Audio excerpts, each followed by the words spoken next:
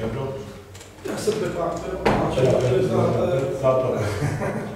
A chtěl bych se třeba asi tady do diskuze, chtěl bych reagovat nejprve teda na uh, tu výstavbu, jak jsem tak pochopil, kulturního domu, Mhm.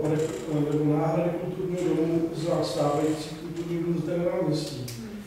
Já teda uh, na to jako opravdu prostý občan a jako člověk, který uh, z pozice svého zaměstnání procestoval celou republiku s určitými nevím, umělci nebo prostě organizacemi, divadly, kteří v takovýchto dobech účinkovali a do, kter- do kterých byli zvaní. A vidím to z, z pozice toho e, zázemí, toho, toho vnitřku, kdy teda ty pořadatelé měli problémy s hygienikama, občanama a s různýma jinýma organizacemi, zelení a takovýhle.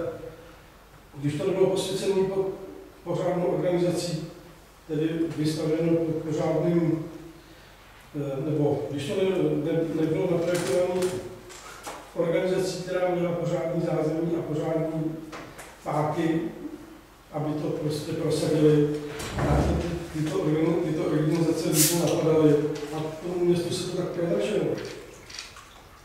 A nakonec městech to museli i zavřít. Takže vzhledem k tomu, že to, toto bude na náměstí, pořádně to prodiskutujte, protože, protože to se Lipčicům může krajně nevyplatit.